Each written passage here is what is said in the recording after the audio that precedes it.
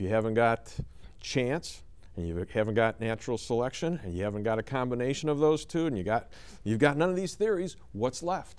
Well, I began to consider the possibility that intelligent design might play a role because even with my illustration of the magnetic chalkboard, it's obvious that the key uh, factor, the key cause involved in arranging the characters to spell a message was a mind, it was an intelligence.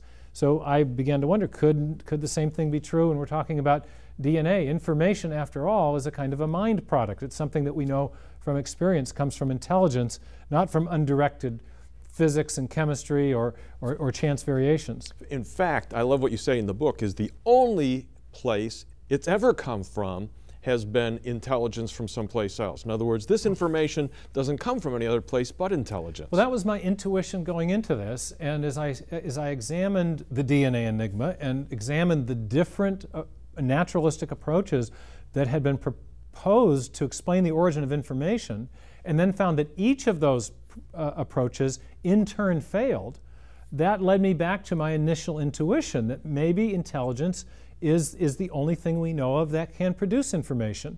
And, and so uh, for me, that led to a, a question, which is could the design hypothesis, could the idea of intelligent design be formulated as a rigorous scientific argument? Not just an intuition, but something that could be justified by reference to a standard method of scientific reasoning using a standard scientific method. All right, how did you go about this? Well, I uh, met a man named Charles Thaxton in 1985, and he's the one from whom I first uh, encountered the idea that intelligence may be in some way responsible for the information in DNA. He'd written an important book called The Mystery of Life's Origin, still a classic in the field.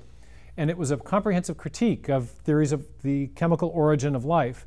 But in the epilogue to the book, he not only critiqued the standard theories, he floated an alternative hypothesis. He called it the idea of an intelligent cause. And, and he, for him, this was largely an intuitive thing at this time.